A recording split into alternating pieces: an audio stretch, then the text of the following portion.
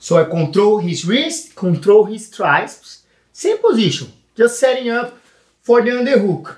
But when I go to underhook, before he was very good, yes, when go to the head arm control, try attack the guillotine or try from the guillotine arm triangle. Come on, Lego. Yeah, so when I felt he coming, first thing I have to do it is close my shin, put my shin down.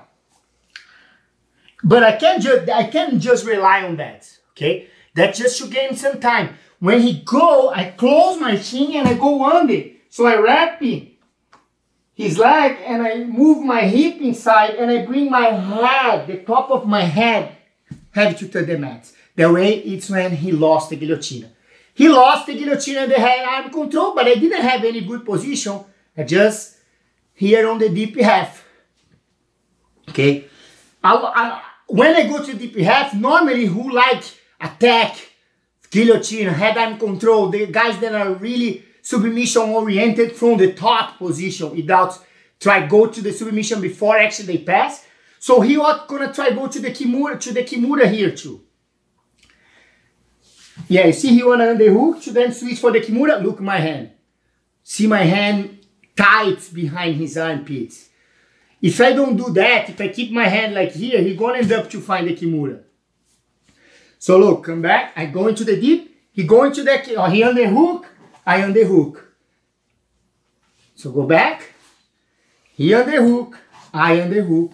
Tied it up. And now look, when I tight my hand backwards, that's when I move my hip.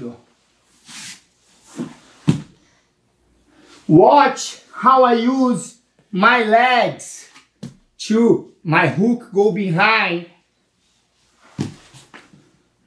And look where I am. Dog fight again. Elevate my hip. Go to the dog fight. He probably gonna have the whizzer. And he stand up.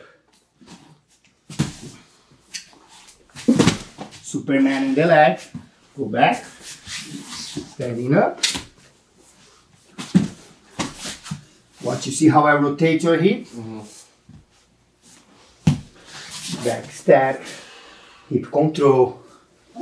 Control. If I don't want hip turtle, I just keep the arm control. Hip turtle and go to the back again. Like going back to the same game.